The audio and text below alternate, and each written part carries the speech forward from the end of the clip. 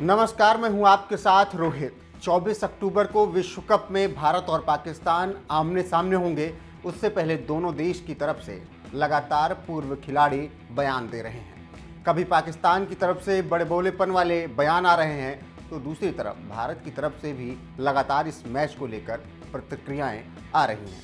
एक तरफ़ मैच को बैन करने की मांग चल रही है मतलब भारत की तरफ़ से ये कहा जा रहा है कि पाकिस्तान के खिलाफ होने वाले मैच को बाइकआउट कर देना चाहिए क्योंकि सरहद पर चीज़ें अभी ठीक ठाक नहीं चल रही हैं।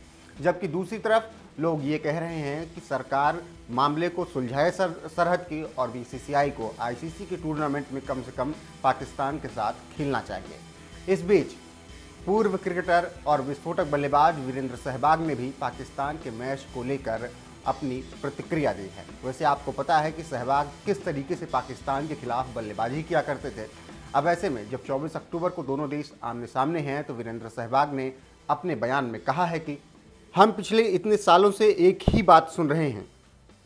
हमेशा एक ही चीज़ होती है कि ये बहुत बड़ा गेम है।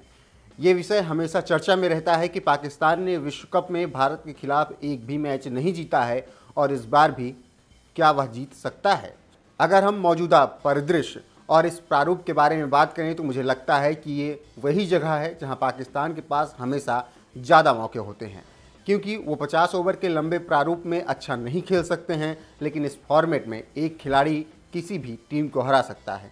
फिर भी पाकिस्तान ऐसा अभी तक नहीं कर पाया है। हम देखेंगे कि 24 तारीख को क्या होता है। 2003 वर्ल्ड कप और 2011 वर्ल्ड कप के बारे में बात करें तो हम पर दबाव कम था, क्योंकि हमारी पोजीशन पाकिस्तान से अच्छी थी। मेरी राय यह है कि हम कभी भी बड़े बयान नहीं देते हैं। वहीं पाकिस्तान की तरफ़ से हमेशा काफ़ी बड़ी बड़ी बातें की जाती हैं। जब आप अच्छी तैयारी के साथ जाते हैं तो फिर आपको पता होता है कि रिज़ल्ट क्या होने वाला है। वैसे आपको बता दें कि उन्नीस सौ बानवे के बाद से भारत ने अभी तक पाकिस्तान के खिलाफ विश्व कप में कुल 12 मैच खेले हैं, जिसमें वनडे विश्व कप में सात मुकाबले और टी विश्व कप में पाँच मुकाबले हुए हैं। वनडे विश्व कप में सात मुकाबलों में भारत ने जीत दर्ज की है तो इधर भी टी विश्व कप में भी भारत ने क्लीन स्वीप किया है। 2007 के विश्व कप में भारत ने दो मैच में पाकिस्तान को हराया था। आप सबको पता है कि फाइनल मुकाबले में पाँच रन से पाकिस्तान को मात देकर भारत ने विश्व कप ट्रॉफी महेंद्र सिंह धोनी की कप्तानी में उठाई थी। फ़िलहाल वीरेंद्र सहवाग का जो बयान हाल फ़िलहाल आया है, उस पर आपका क्या कुछ कहना है, कमेंट करके हमें ज़रूर बताएँ।